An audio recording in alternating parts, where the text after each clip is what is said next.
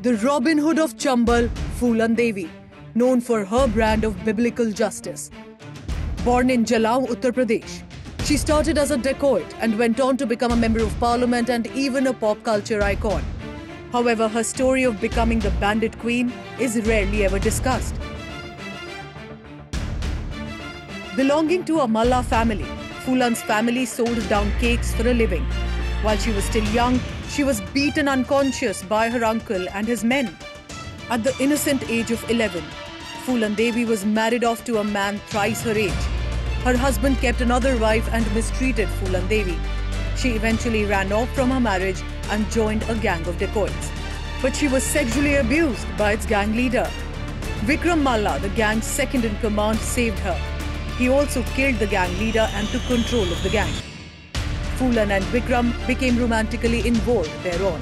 But Vikram was killed by other so-called upper caste members of the gang. They took Phoolan hostage and took her to their village Behmai and repeatedly raped and abused her. After three weeks, Phoolan Devi managed to escape Behmai and formed her own gang. She returned to Behmai and demanded that her rapists appear before her. When they were not found, Phoolan ordered that every Thakur member of the village be lined up on the banks of the Yamuna and be shot.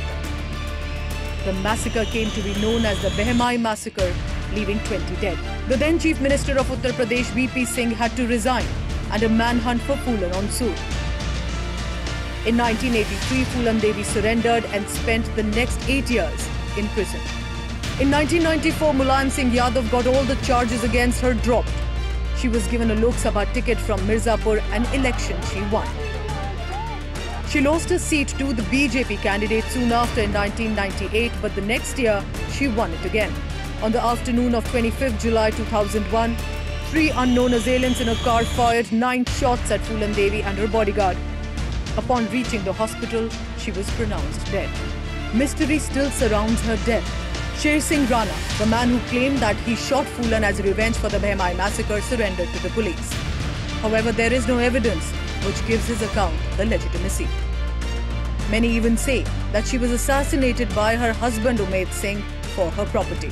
22 years after her death, Phoolan Devi remains one of India's most controversial figures who looted from the so-called upper caste rich and shared the wealth with the poor.